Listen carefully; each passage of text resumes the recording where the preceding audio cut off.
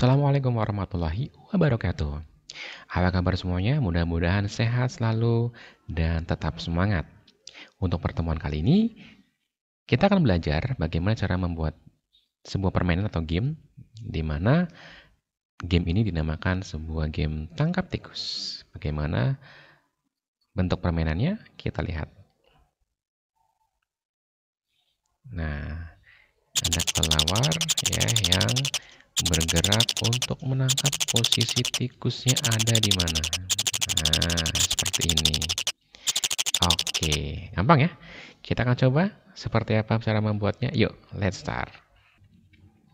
Oke, pertama-tama kita akan hapus atau hilangkan dulu uh, si sprite ya cat ini kita hilangkan dengan mengeklik tombol uh, tempat sampah ini ya, recycle ini. Klik. Nah, Kemudian kita akan menambahkan dulu backdropnya di sini yaitu pertama forest. Kita cari saja di sini forest.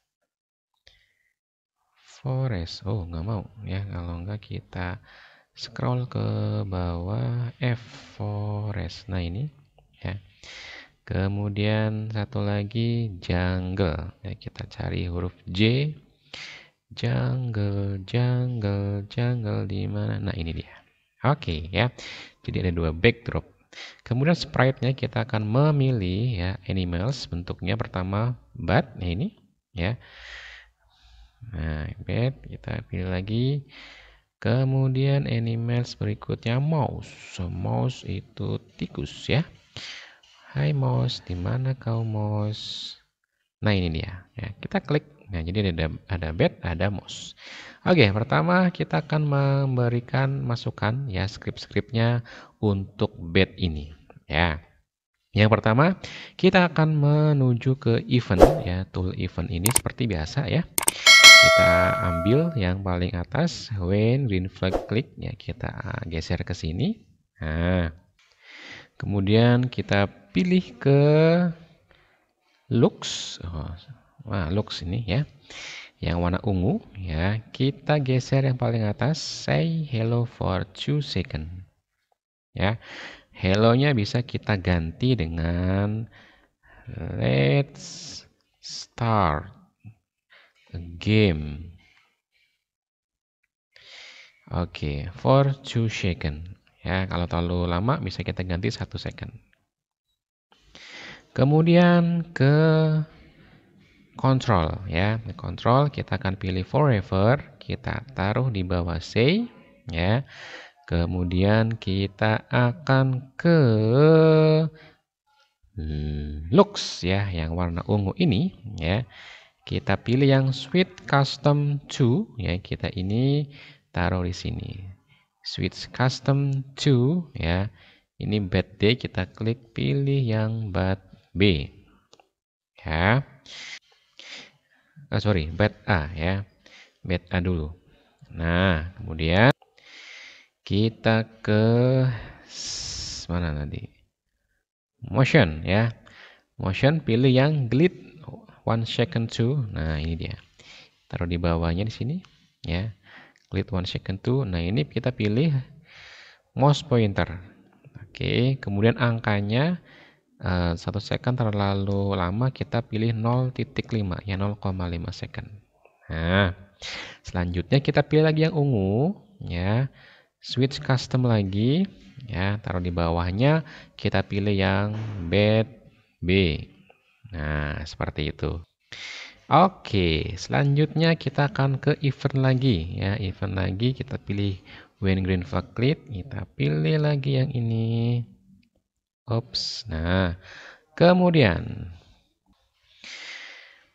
kemudian kita akan ke control ya. Di sini ada tulisan white until ya. Kita taruh di bawah sini. Nah, ini eh, apa namanya? kotak kosong ini akan kita isi dengan skor nantinya. Nah, kita ke operator, kemudian kita pilih yang Jeng jeng, mana ya? Nah, yang ini ya, yang sama dengan Nah, kita taruh di sini. Oke. Nah, yang kosong ini kita taruhan apa? Kita ke variabel. Nah, variabel kita akan membuat variabel baru. Nah, maka kita klik make a variable. Kita klik ya. Kita kasih nama di sini score. Nah, kemudian kita pilih OK. Nah, maka akan muncul di sini tulisan skor ya. Nah, nah kemudian skor ini kita masukkan ke sini variabelnya. Oke. Kemudian ini angkanya kita ganti 10 10 saja ya, 10. Kemudian kita ke looks lagi ya. Kita pilih yang tulisannya sweet backdrop 2. Nah, kita taruh di sini. Nah, kita pilih yang mana ya? forest. Nah, ini dia. Next, apa lagi? Nah, kita ke event lagi ya. Kita pilih yang when green flag click. Nah, ini kita taruh lagi sini ya. Kemudian ke control ya dan pilih yang mana ya? Oke, bukan ke control ya, ternyata ke variabel nih ya. Ke variabel kita pilih yang set my variable to. Nah, ini. Ini sebenarnya warnanya agak sama ya. nah, my variable kita klik, pilih yang score. Nah, kemudian kita ke looks ya, pilih yang sweet backdrop to jungle seperti ini ya. Kita coba green flag yang kita mainkan. Nah, oke okay. ya, ini tikusnya belum bergerak.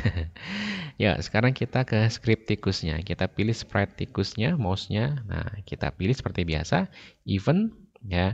Pilih yang ini, when green flag klik. Kemudian pilih control dan klik forever di sini ya. Kemudian Oke, pilih yang white until Ya, nanti kita klik. Oke, dan pilih sensing. Nah, di sini ada touching ya. Touching yang mana nih yang kita pilih ya? Touching ini paling atas ya. Kita masukkan ke sini. Nah, kita pilih yang bed. Nah, kemudian kita pilih sounds ya. Pilih yang ini. Yang kedua start sound di bawahnya. Nah, ini kita bisa ganti ya kita ke sound dulu seperti ini. Nah, kita pilih soundnya itu. Nah, di sini ya ada choose a sound. Kita pilih yang uh, animals. Nah, kita pilih animals. Kita ini ada macam-macam bunyi ya. Ada anjing, ada bebek, ada panik kuda. Nah, nah jangkrik ya. Nah, kita pilih yang chatter aja. Ini suara khas tikus nih. Oke, okay, kalau sudah, kita kembali lagi ke kode. Ya. Nah, ini saat soundnya kita klik, pilih, dan kita pilih chatter. Nah, kemudian ke motion, kita pilih yang go to random position, kita taruh di sini.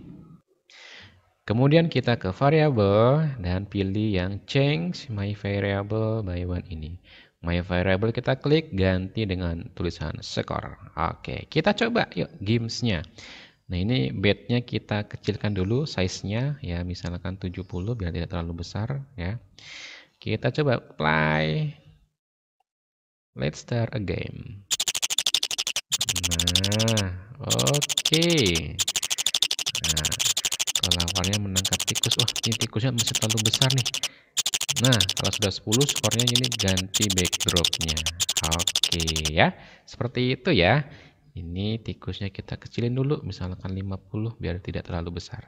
Nah, nah mudah-mudahan dengan tutorial singkat ini bisa menambah pengetahuan kita dalam membuat permainan menggunakan Scratch ya. Terima kasih sudah menyimak. Ya, jangan lupa like, comment, and subscribe. Terima kasih.